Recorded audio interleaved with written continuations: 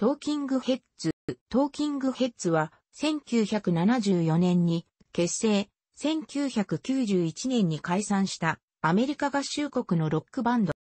ローリングストーンの選ぶ歴史上最も偉大な100組のアーティストにおいて第100位。トーキングヘッズはニューヨークパンクの拠点となったライブハウス CBGB 出身のバンドで1970年代半ばから1980年代後半にかけて活動した。メンバーは名門美術大学ロードアイランドスクールオブデザインの出身でインテリバンドと呼ばれることが多く、初期はパンクバンドとされていたが、ボーカルのデビッド・バーンがアフロリズムに傾倒し、それを大胆に楽曲に取り入れるようになると、ポストパンクとされるようになった。バンドは、デビッド・バーン、ボーカル、ギター、クリス・フランツ、ドラム、バックボーカル、ティナ・ウェーマス、ベース、バックボーカル、ジェリー・ハリスン、キーボード、ギター、バックボーカルの4人編成だが、1980年のアルバム、リメーン・イン・ライト前後からサポートメンバーを大々的に起用し、ビッグバンド編成でライブを行うようになった。1981年からは、ライブの最中に、バンド内バンド、トムトムクラブのコーナーを組み込むようになった。バーンの都会的な神経症を連想させるボーカルや、ライブパフォーマンス、痙攣パフォーマンスと、ブカブカなシャツが特徴的で、歌詞は家や心地よい悪い空間をテーマにしたものが多い。また、楽曲制作では、 Remain in Light 制作時からインプロビゼーションの要素を取り入れている。ジョナサン・デミによるライブの記録映画、 Stop Making Sense をはじめ、 Once in a Lifetime や Road to Nowhere のミュージックビデオなど映像作品の評価も高い。1974年、ロードアイランドスクールオブデザインに在学していたデビッド・バーンがファビュラス・モーテルズ、パフォーマンスアートと寸劇とロックの融合を試みていた学生バンドであり、クリス・フランツとティナ・ウェーマスが参加していたに出入りするようになった。その後、バーンはフランツとジ・アーティスティックを結成し、ついでウェーマスが加入すると、バンド名はトーキングヘッズと改められた。フランツとウェーマスの卒業後、バーンはファビュラス・モーテルズのオーディションを受けた。不合格通知を受けると、バーンは単身ニューヨークに移り、友人の家に居候をしながら無理の日々を過ごす。やがて、フランツとウェーマスがニューヨークに移ってくると、トーキングヘッズは本格的にバンド活動を開始した。バンドとして初めてのライブは1975年6月に行われた CBGB サマーフェスティバルで2度目のライブの直後にはビレッジボイス誌の表紙に抜擢されている。その後数年間、ラモーンズやブロンディラと共に CBGB の常連となった。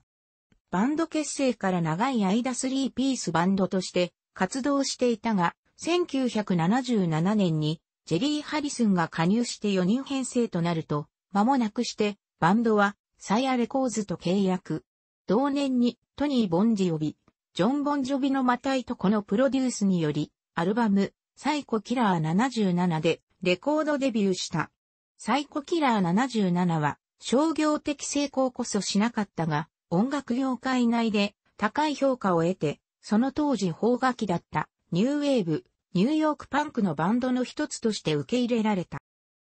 アルバム、モアソングスで、ブライアン・イーノをプロデューサーに迎えると、バンドは楽曲の中でよりリズム感やグルーヴ感を追求するようになった。モアソングスは、バハマのコンパスポイントスタジオでレコーディングされ、このアルバムから、Take Me to the River、アルグリーンのカバー曲がヒットすると、バンドはようやく一般的な認知度を得た。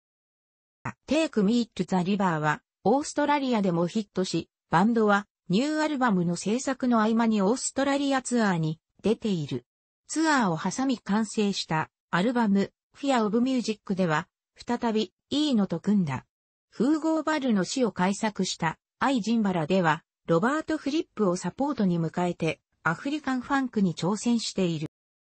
アルバム Remain in Light では三度イーノと組みアイジンバラの音楽性をさらに煮詰めたアフリカンポリリズムに挑戦した。リメイン・イン・ライトは、再びバハマのコンパスポイントスタジオ、一部はアメリカのスタジオで録音された。エイドリアン・ブリューやジョン・ハッセルなどをサポートに迎えた。この品の成功で、バンドは、その評価を確固たるものにした。なお、各一曲の中で使用されるコードが一つという書位、ワンコードのコード進行によるソングライティングが当時話題となった。おそらくこれはロックにおけるミニマルミュージック的な初期の方がであろう。もちろん、このアイデア自体、いいののものである可能性も高い。また、リメイン・イン・ライト発表直前から、サポートミュージシャンを含めたビッグバンド編成でライブを回るようになり、アメリカやヨーロッパ各国でのツアーでは、バーンの特異なライブパフォーマンスや、バンド内バンド、トムトムクラブが話題になった。ツアー後、バンドの活動は停滞する。バンドの停滞期間中には、ソロ活動が行われ、ブライアン・イーノデビッド・バーンのコラボレーション盤、マイ・ライフ・イン・ザ・ブッシュ・オブ・ゴースツや、ジェリー・ハリスンのアルバム、赤と黒などがリリースされた。ライブ盤、ミノル況録音盤もリリースされた。このライブ盤は、バンドの停滞に痺れを切らしたマニアが、エレクトリシティという海賊盤、1978年のクリーブランドでのライブを幅広く出回らせてしまうという事態が起きたため、レコード会社が対策的にリリースしたものである。長いインターバルの後、ブライアン・イーノのプロデュースを離れ、セルフプロデュースで制作されたアルバム、スピーキング・イン・タンズをリリース。スピーキング・イン・タンズからは、バーニング・ダウン・ザ・ハウスがバンド史上初で、唯一のトップ10ヒットを記録した。このアルバムのツアーは、ジョナサン・デミにより、ストップ・メイキング・センスのタイトルで、ドキュメンタリー映画化された。なお、このツアーは、結果的にバンドとしての最後のものになった。アルバム、リトル・クリーチャーズでは前作までのリズムへの偏執を、そのままに、アメリカの様々なカントリーミュージックのエッセンスを取り込んだ。アンドシーワズ、ロードトゥノーウェアなどがヒットしたが、バンドはツアーは行わず、同路線での自作のレコーディングを始めた。また、それと並行してデビッド・バーンは映画の制作に取り掛かった。アルバム、トゥルーストーリーズがリリースされると、間もなくバーンの映画、トゥルーストーリーズ、1986年も公開された。トゥルーストーリーズからは、ワイルドワイルドライフがヒットしたが、これが最後のシングルヒットとなった。この頃からバンド内で不協和音が響くようになった。ジェリー・ハリスンがこの時期に再びソロ活動を始め、アルバム、カジュアルゴッツをリリースしたが、シングル、リブイットアップ、リリース時のインタビューで、バーンについて、彼が全てをやっているわけじゃないとバンド内での自分の音楽的貢献が全く評価されない現状を嘆いている。バンドとして最後のアルバムになったネイキッドはバーンの意向によりパリでレコーディングされた。当時のパリはライ、ズークとの共同プロデュース作ネイキッドでは現地のミュージシャンを大々的に起用し様々な音楽の要素が混ざり合ったものを目指した。ネイキッド後、バーンがワールドミュージック専門のレーベル、ルアカバップを設立し、ネイキッドの音楽性をさらに推し進めたアルバム、デーモモをソロアルバムとしてリリースすると、バンドは実質的な解散状態に陥った。ネイキッド以降、バンドとしての活動は途絶えていたが、1991年、ビム・ベンダースの映画、夢の果てまでものために、サックスバイオリンズをレコーディングをする目に集結、レコーディング終了後に、バンドの解散が正式にアナウンスされた。デビッド・バーンは、ソロ活動はもとより、ルアカバップでのワールドミュージックの紹介など、精力的に活動を続けている。クリス・フランツ、ティナ・ウェイマスは引き続きトムトムクラブで活動。ジェリー・ハリスンは、バンド解散後に、プロデューサーに転向。バイオレント・ファムズや、クラッシュテスト・ダミーズなどのバンドのプロデュースで一定の評価を得た。1996年には、バーン以外の3人が、ザ・ヘッズ、ザ・ヘッズを名乗り、アルバム、ノートーキング、ジャスト・ヘッドをリリースした。XTC のアンディ・パートリッジ、イニクセスのマイケル・ハッチェンス、ブロンディのデボラ・ハリーなど、他のバンドのボーカリストにボーカルを取らせるという一種の企画盤で、バーンは決していい顔をしなかった。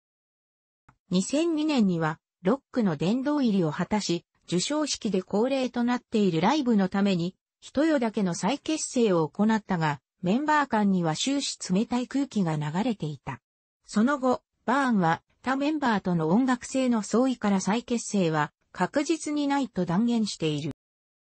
デビッド・バーンの特徴的な動きや楽曲は、しばしば他のミュージシャンからパロディの対象にされている。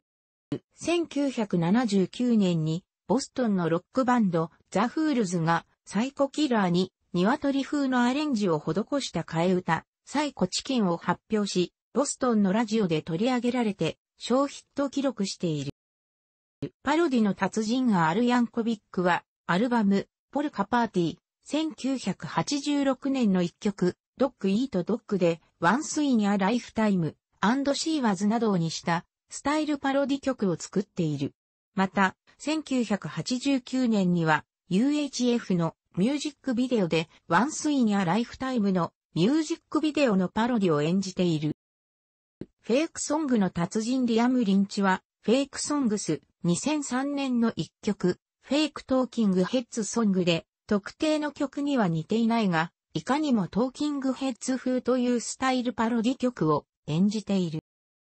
楽しくご覧になりましたら、購読と良いです。クリックしてください。